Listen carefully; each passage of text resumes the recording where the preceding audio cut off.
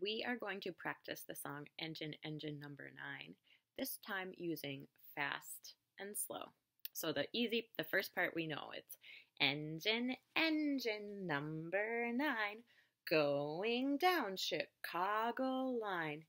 If the train should jump the track, will I get my money back?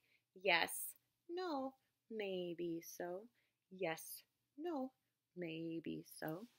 If we were to do it slow, it would be engine, engine, number nine, going down Chicago line.